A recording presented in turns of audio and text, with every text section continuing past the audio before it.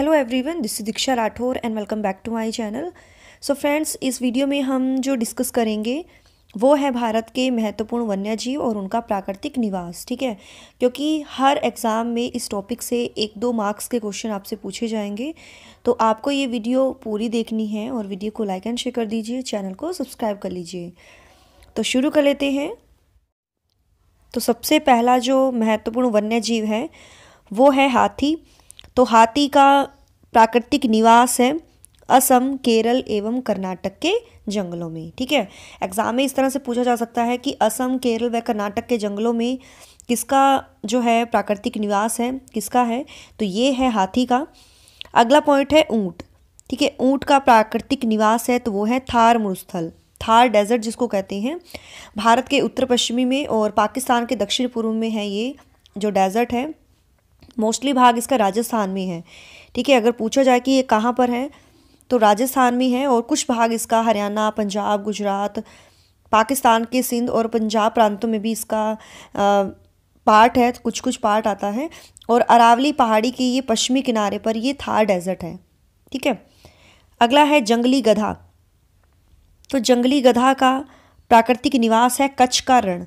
देखिए कच्छ का अर्थ होता है डियर मतलब ये ना, वहाँ गुजरात में एक ज़िला है, कच्छ। ठीक है, इसी वजह से ये पड़ा है नाम इसका कच्छ का रण। ठीक है, गुजरात प्रांत में कच्छ ज़िले के उत्तर और पूर्व में फैला हुआ ये जो है प्रदेश है।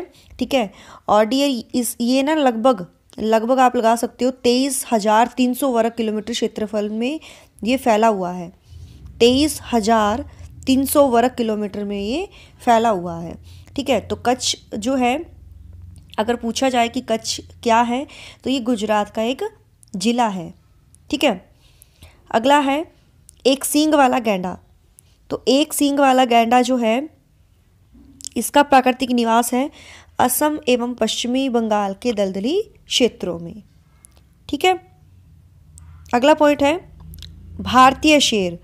तो भारतीय शेर का जो है वो है सौराष्ट्र का गिर वन ठीक है? सौराष्ट्र का गिर वन यानी गिर नेशनल पार्क जो है, ये भारतीय शेर के लिए जो है, ये मतलब इसका, ये जाना जाता है गिर नेशनल पार्क जो है और इसकी स्थापना हुई थी उन्नीस सौ पैंसठ में, ठीक है? उन्नीस सौ पैंसठ में ये इसकी स्थापना हुई थी और एक बात और डियर अगर एग्ज़ाम में इस तरह से पूछा जाए कि भाई ये जो है ना सौराष्ट्र का गिर नेशनल पार्क जो है, इसके निकट कौन सा जो है क्षेत्र लगता है तो वो जूनागढ़ लगता है।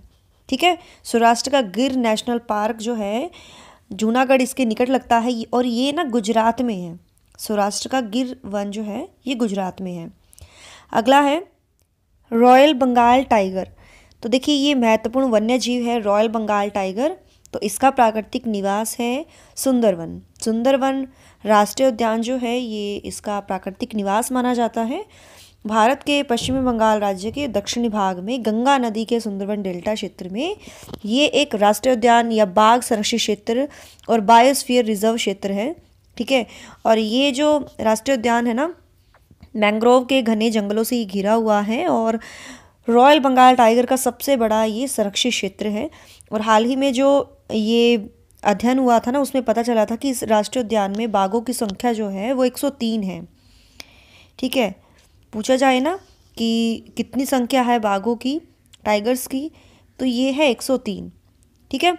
और एक चीज़ और डियर चार मई चार मई उन्नीस सौ चौरासी को जो है, इसे जो है राष्ट्रीय उद्यान घोषित किया गया था। ठीक है? ये भी पूछा जा सकता है ना?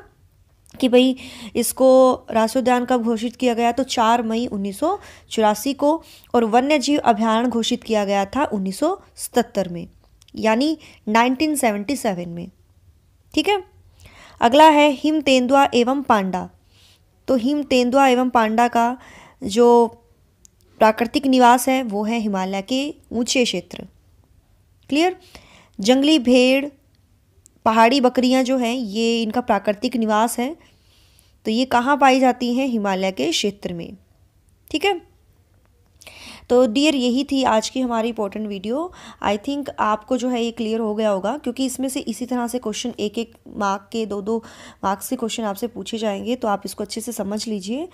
So thanks for watching my video do like share and subscribe my YouTube channel till then bye रब रखा। जय भोलेनाथ।